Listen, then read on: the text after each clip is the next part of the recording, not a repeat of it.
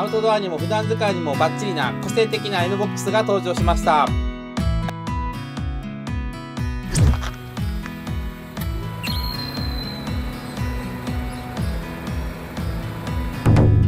はいこんにちは彦の TV です。今回は N ボックスのジョイっていうのが出ましたんで紹介したいと思います。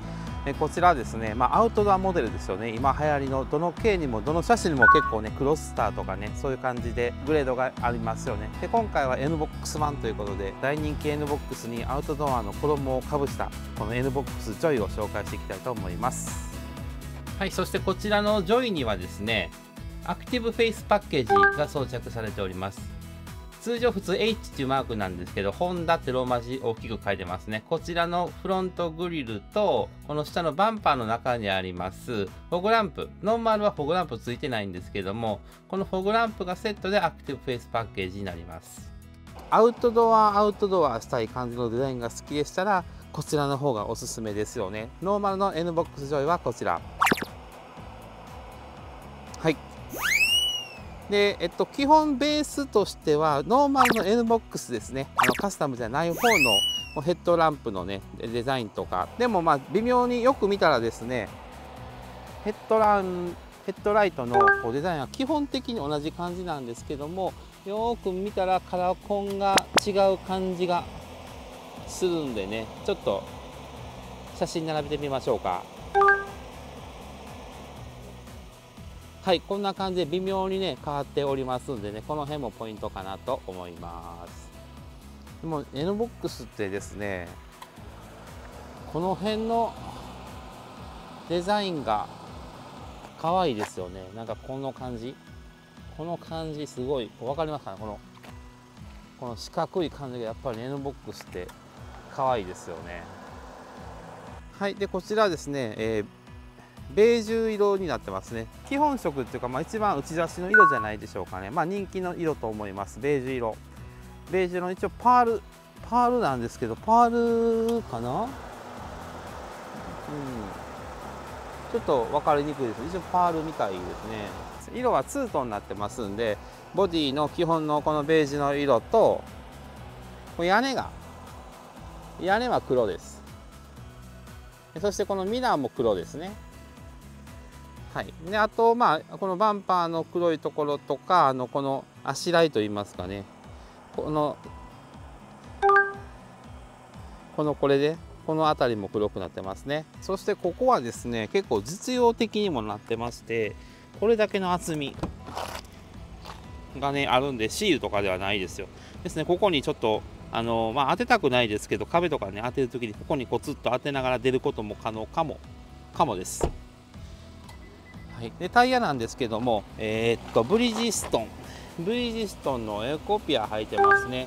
サイズがサイズが、えー、1556514インチということで14インチモデルになってますね。ホイールは鉄鎮です。でこれは NA のモデルなんでこういうデザインですけどもターボモデルはこの辺りの外回りが銀色になってます。そちら写真の方出しておきます。こちら。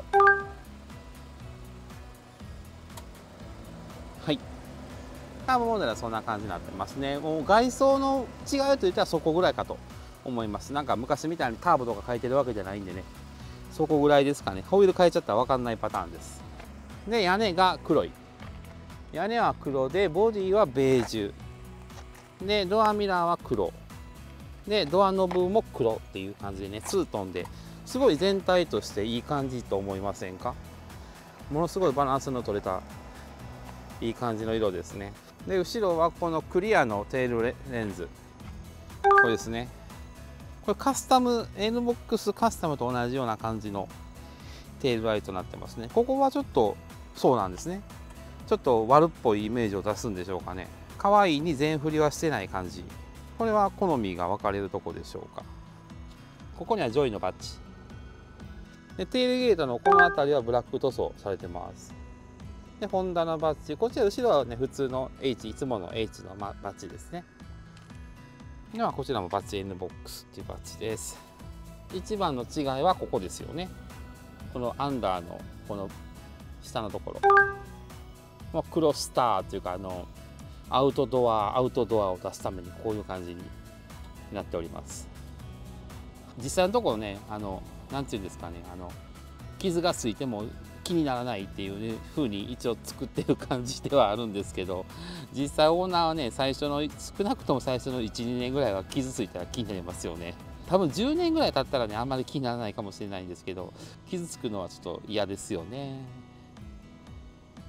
だからもうこういうの逆にもう傷ついたらね交換になっちゃう。傷ついて切れくしようと思ったらもう塗装とかも塗装じゃないんでね交換になりますよねこういう樹脂系は。はいまあそれはいいですか。はい。で左側は基本的に一緒なんですけど違うといえばいつものこれ。これはオスタイプと思います。はいそうですね。オスタイプでなんと無塩ガソリンが。全車両側パワースライドドアということでこちら。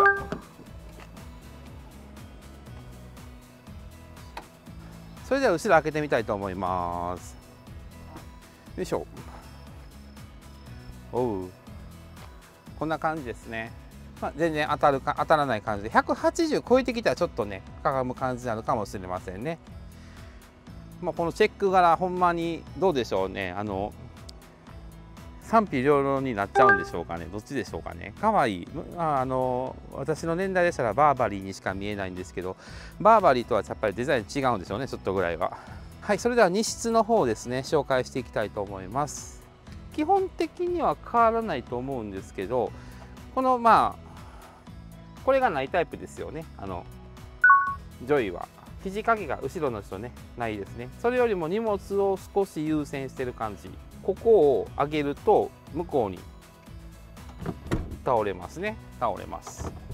ちょっとカタログの数字は分かってないんですけどもあの運転席が、えー、あれ以上、ま、僕個人的には前にはできないしできないんであの運転席の椅子の後ろ側からの長さをちょっと測ってみたいと思います。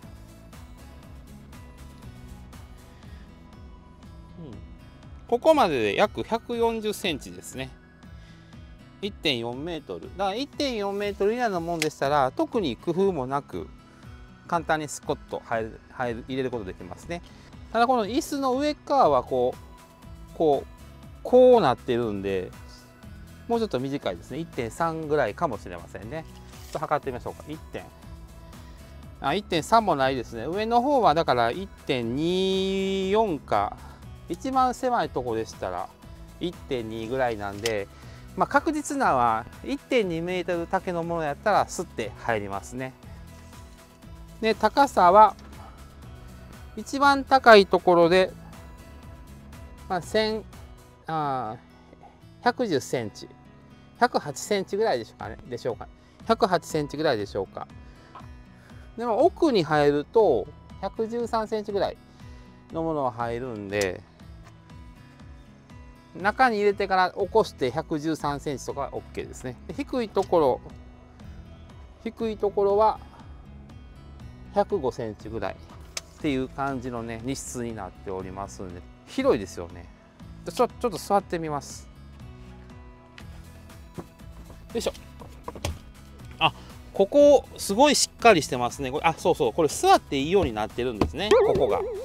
ここ普通常の、まあ、一般的なあのこういう車の背中ってプニュプニュなんですよ。こういう風に。プニュプニュなんですけどちゃんと中にしっかり、えー、板みたいなのが貼ってあってですね生地の中に。しっかりした台になってますね。ですんで結構フラット。こう、うん、なんか休憩できますこれほんまに。こんな感じ。すごい広い空間ですね。向こうがね海とかやったらもっと良かったですけどね。はい、そしてその他なんですけどドリンクホルダーこれは宝石用なんです。けどこうやって倒してる時に向こうからももちろんしっかりいい感じに使うことできますよね。ドリンクホルダーと、まあ、何かのホルダーですね。まあ、23本ドリンクがこっちがちょっと狭いですかこっち側の方が広いかな？ちょっと違う気がしますね。うん。右側の人優先。はい。で一応なんかカタログ書いてあるんですけどなこの溝が なんかあのミニカーのタイヤにはまるはまらへんっていうのを書いたらすごいところを紹介してますよね。はいそしてこちらラケッチルームランプねちゃんとついてますね。こんな感じです。でコンビニフックもついてます。でこちらリアクォーターガラスですね。一番後ろの小窓なんですけどもかなり広いですよね。はい。まあ、ノーマルこの辺はノーマル N ボックスとかカスタムとは変わらないと思うんですけどかなり広くて後ろから全体を見るとこんな感じ。そしてこの下にですね荷物が入るようになっているのが特徴でこれ、まあ、めくってペラッとこれ見てください。このこの蓋もこんなごついんですよこれね。だからもうこの上になんかどうぞ座ってください置いてくださいっていうイメージですよね。はい。でこの下に秘密の入れ物があります。はい。こんな感じで。しかもこれ外れます。はい。そしてこの外した奥にはえっとパンク修理剤とかもねちゃんと入ってますね。でこれ荷物入れてるだけでこれよくたびたび出てくるジャックリーの、えー、バッテリーですね。撮影に使うのでいつも入ってるんですけどこれがすっぽり入る感じですね。これねいいですよ。まあ災害とかね多いんでねこういうのもいつもあの積みっぱなしは多分良くないです。あのバッテリーとか、まあ、熱いとこダメなんでね。お出かける時にねあの持っていくとすごい便利です。これもスコット入ります。椅子を前スライドするとこれもちゃんと外れるようになってより秘密の入れ物が出てきます。ねここ秘密のものがある場合はこっちに入れておきましょう。これをこれ水抜きってこういう車って水抜きあるんだ。へえー、でも水抜きなんかなこれ。いざっていう時の水抜きなんでしょうかね。これは。これご存知の方教えてください。N ボックス歴はあんまないんで細かいとこは分からないんですけどね。こんな感じで隠れてるんですちゃんとね。平べったくないのにこう蓋がついてるっていうことで。でここを引っ張ると動かせると。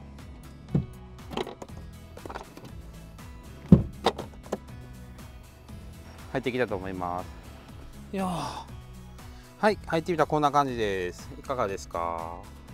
足空間すごい広いです。これ前運転席運転ポジションですからね。前の方に行ってるわけじゃないですからね通常このこれぐらいですね。なので自分のポジションですけどまあ普通ぐらいと思います。はい。でドア閉めてみましょう。これね。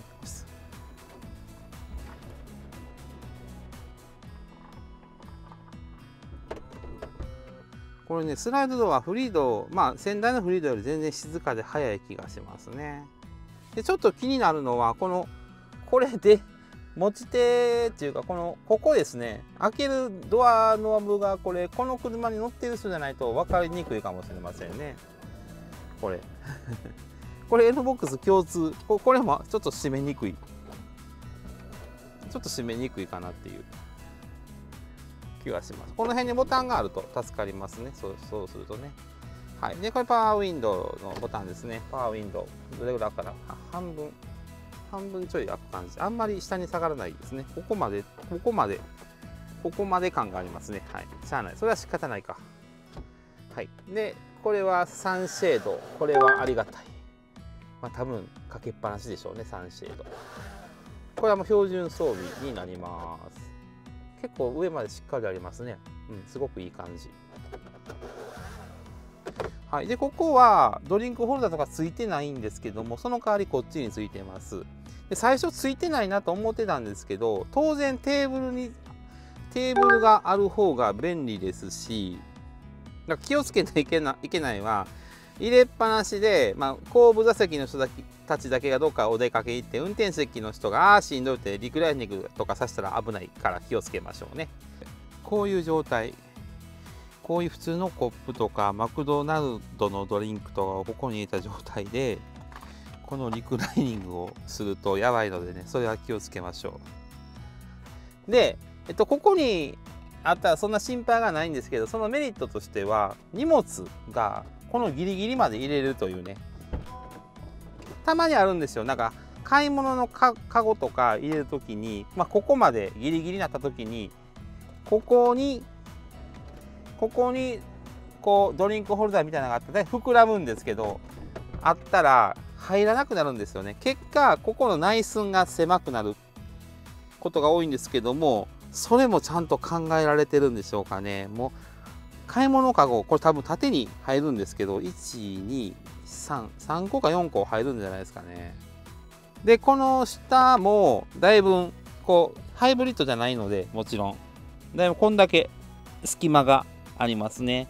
いろいろ入れれます、まあ、個人的にはサブウーファー買えるやんっていう嬉しいですね。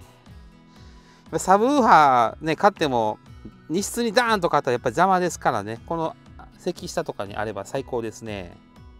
この空間作りがね NBOX はすごいんですよとにかく。リクライニングはこれが標準でこれが標準ででこれが 2, 段目でこれが一番倒れるパターンですね。この部屋も K なんでもう後ろここすぐ後ろなんでね。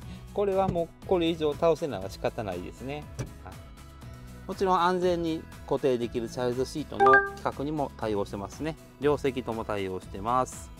そして1個ちょっと残念なんがスピーカーですね。スピーカーここに4スピーカーで、まあ、前はこのこの位置ですね。この位置と、まあ、助手席がこの位置ですね。あるんでね後ろはこの位置なんですよね。この位置なんですよねこの位置。腰元なんですよね。できましたスピーカーは前の方向から聞こえてくる方が理想的と思うんですけども、まあ、ちょっとこれ後ろからなんでねこれがまああんまり良くないかなって個人的には思いますけど気にならない人は気にならないですよね。はいこの空間を優先ということで。だからスライドドアはすぐ作りがシンプルですよね。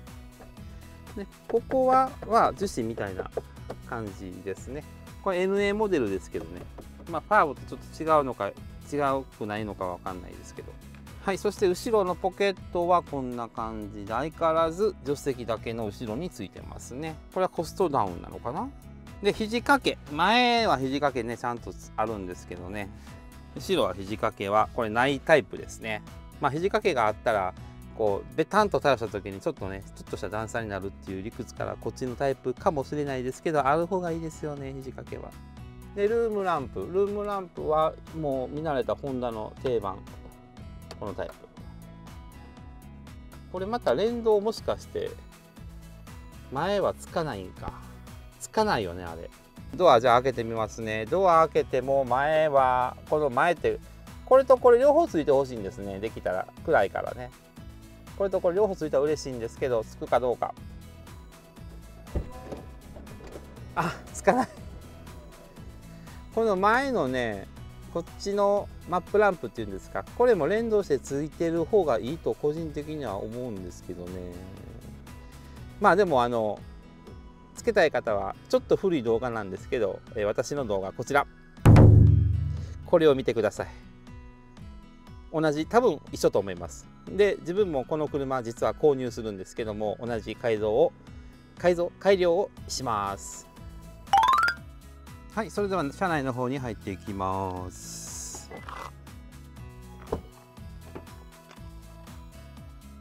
こんな感じです。まあこれノーマルの NA なんですけどこの辺は全部樹脂パーツですね。当然パワーウィンドなんですけどオートは運転席だけ。窓のチャイルドロックとドアの開閉。でドアミラーの調整用ボタンとこちらはリトラクトですね。でスライドドア両方ついてましてまあちょんちょんで多分開く。はいちょんでちょんで開きました。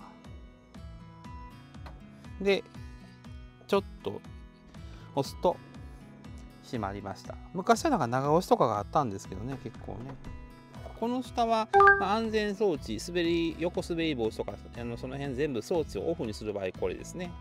でこれはあのヘッドライトの光軸の調整です。で NBOX は手動タイプになってますね、じゃあ車内入っていきます。いしょ。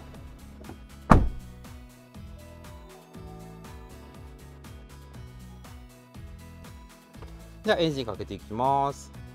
ブレーキ踏んで。エンジンスタートストップボタンを押す。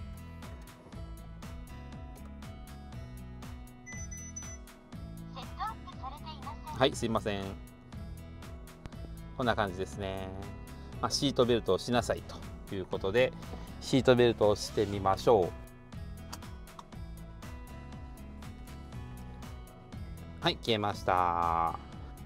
こちらハンドルです。まああのターボじゃない NA モデルなんで、こちらは樹脂のままになってますね。ターボモデルは本革巻きになってます。で、えっと、こちらはまプップ。左側はオーディオ周りですね。えっと、まあ、ボリューム、よく使うのはボリュームボタンでしょうかね。これの、この純正ナビなんでね、こう全部、全部連動しております。はい。で、ホームボタンを押すと、メーターがね、変わりまして、こんな感じですね。タコメーター。ここ、ここの、そしてここのくるくるを、くるくるマシンを回すと、ここが、えー、いろいろ選べるようになります。シンプルタコメーター。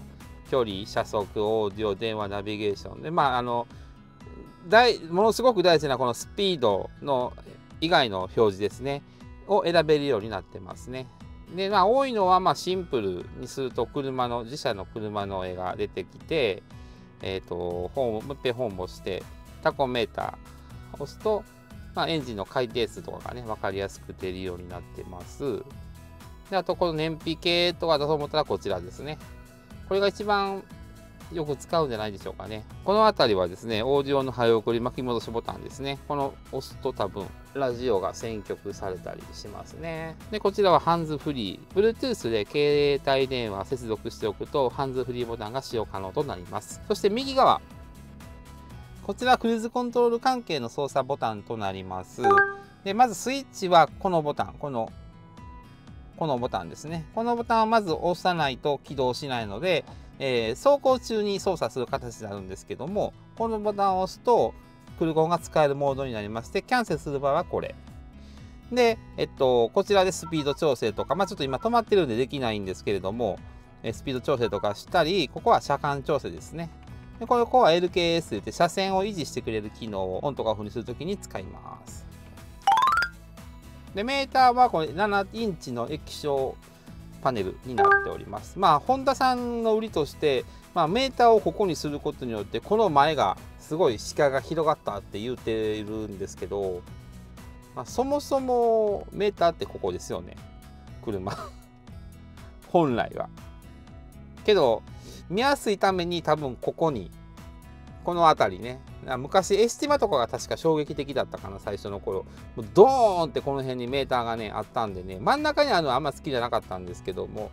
前の仙台フリードはこの辺にあってすごく見やすかったんですけどね。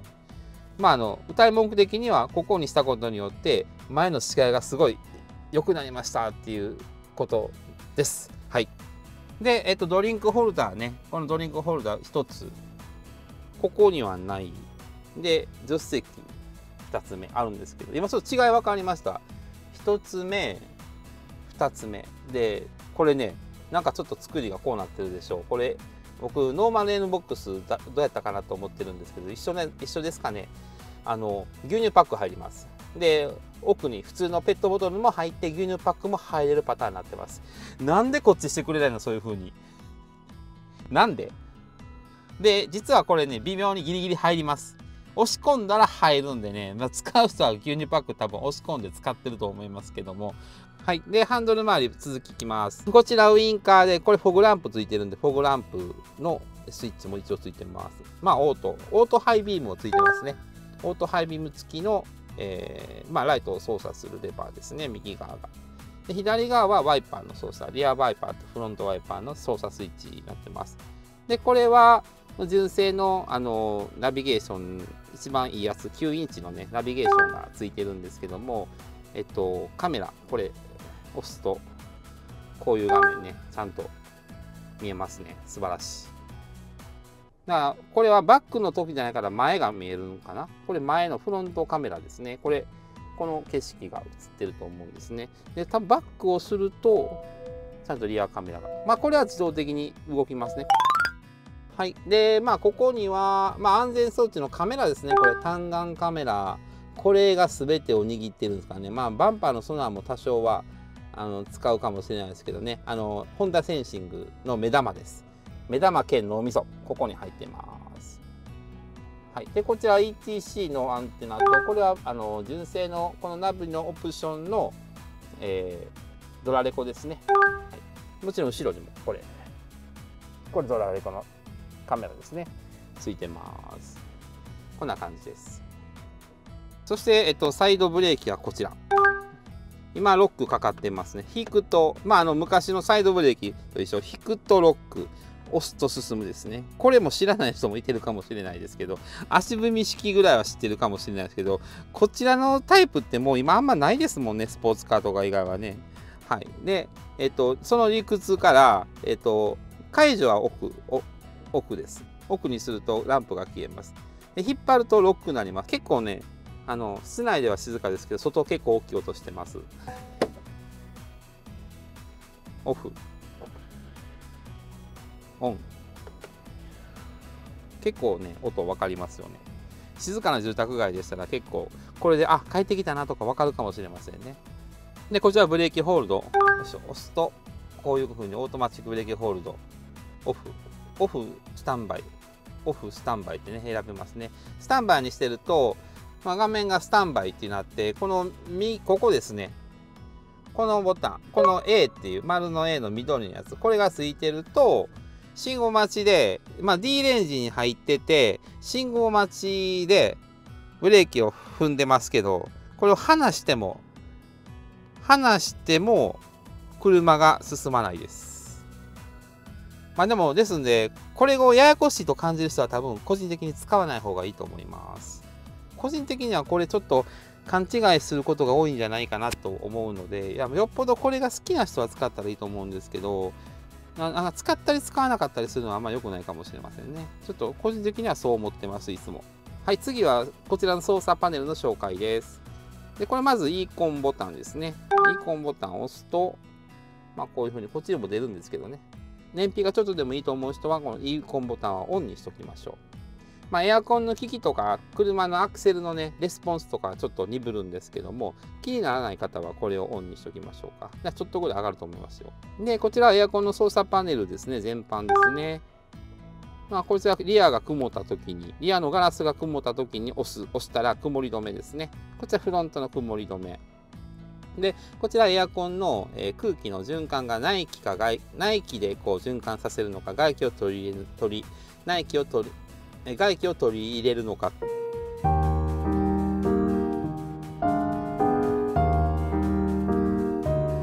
こちらがシートヒーター。運転席と助手席と。これは何もないですね。ついてますね。つけるとあったかくすぐあったかくなりますね。エアコンの暖房よりあったかくなるので今はね、えー、気温26度なんで入れる必要ないんですけども、えー、すぐあったかくなってもうちょっとあったかいで切ります。はい2段階調整できるみたいですね。でこちらエアコンですね。コントロール。で基本的にはもうオン、オート、オート一択で、で温度だけ20、まあ大体25度とか24度ぐらいでしょうかね。寒がりの人は27度ぐらいでもいいかもしれませんけど、えっ、ー、と、まあ合わせておトンってやると、まあ空気も勝手に自動にね、調整してくれますんでね。ただまあもう暑くてたまらんという人はもうこの、ちょっと風をマニュアルで強くしたり、もっと低く、低くしてローってなったら、これがマックスです。こんな感じにしてもいいかもしれませんけど普段はこのオートでオートで25度。にした空気も全部調整してくれます。もちろん AC は入れとってくださいね。オフになったら涼しい風が出てきませんからこれはオンにしてオートでお願いします。でこちらは空気が出る場所。このモードはこの前からですね。この当たり前。もう昔から車乗ってる方は分かってると思うんですけどでこれにすると前と足元からもね風が出てくるようになります。でこれは足元だけ。な冬は基本的に暖房はこのモードですね。ででこれは、えっと、足元と前のこう、ま、前の曇り止めのここにあのここから出てくるんですよ風が。車の窓が曇らないように窓側から出てくるようにもなってるんでそのモード。まあ冬とかが使うパターンですが夏は基本使わないと思いますけどね。っていう時に自分でそういう風にした時はこのボタンを調節します。あとオンとオフですね。普段はもうこれでこれ1本で大丈夫です。いっぱいついてますけどこれだけで大丈夫です。でここはタイプ C ですね。タイプ C の充電器とタイプ A のこれ充電器じゃなくてこのマークがついてる方は基本的にナビとつながってます。ナビの裏側に線があってここにつながってる感じで何をつなげるかっていうと携帯電話ですね。携帯電話つなげたり、えっ、と、まあ、あの、私の動画で紹介させてもらってる、オッドキャストとか、ああいう Android 系 YouTube とか見たときは、こっちの、こっちに挿します。で、こっちに挿しても何もなりませんからね、そういう時はね。このこのデータ通信みたいなこの USB のマークこっちがついてる方に挿すとナビと連動していろんな機能が使えます。まあいろんな機能というかカープレイとか Android Auto ということですね。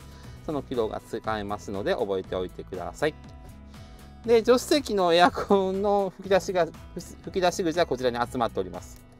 そのおかげでこのドリンクホルダーになったということですかね。うん、で、まあ、ここもいろいろ、まあ、大体携帯置くでしょうね。結構広くて角度もついてるから置きやすいかなと。ちょっと滑り止めとか欲しいですけどね。ギアはシフトレバー、ストレートタイプですね。ノーマル。P とパーキング、リバース、ニュートラル、ドライブ、まあ、S やから多分スポーツなんですからね。走るモードは2つありますね。でこれは、えっと、ターボの場合はここにパドルシフトついてるんですけど、こちらの車 NA なのでパドルシフトはついてません。でこちらグローブボックスありますね。こんな感じ。まあまあ大きい。あの軽自動車のメリットとして運転席周りにちょっといろいろなかったりするんですけどグローブボックスが近いからここでいいんですよね 入れ物ね普通車やったらもうこれぐらいなんでちょっと使いにくいんですけどちょっと遠いんですけど軽の場合は結構すぐに手を伸ばせるところにあるんでねまあグローブボックスあったらいいですよね正直グローブボックスこれぐらいでいいんででもドリンクホルダーつけてほしいこの辺にこの辺りか。テーブルとかね。テーブルがないんですよね、なんも。はい。えそしてこのギアシフトの下側はシガーソケットとコンビニフックありますね。運転席からまあ全く見えないんですけど、あ覗き込んだら、覗き込んだら見れます。で、こんなちょっと入れ物ですね。何か入れてください。何か。こんな感じで。で、このまま行くと、ここに ETC の、まあ、セットアップがされてない ETC と、あと、ここですね。ここにもなんか入れれますね。何入れます？ここ。おにぎり？でもちょっと感心したのは、この足置きにちゃんとマット着てるんですね。今、最近は。最近なのかわかんないけど。フリード、これ、あのなかったですから、マット。別にあってもなくてもいいんですけど、マットついてるんですね。そして上側ですね、この独特のこの N ボックスのこの空間結構好きです。すごい広いですよね。この、ここが遠いんですこの奥が。遠いから、多分太陽が、前のフリードはこの辺まで窓やったんで、多分窓やった、こう、もっと斜めの窓やったんで、暑いんですよね、太陽が上から降ってくると。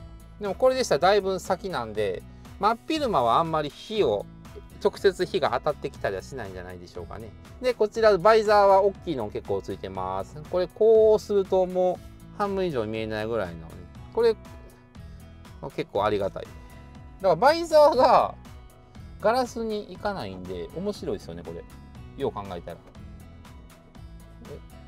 あんまりバイザー役立つんかなこれ。立ちます？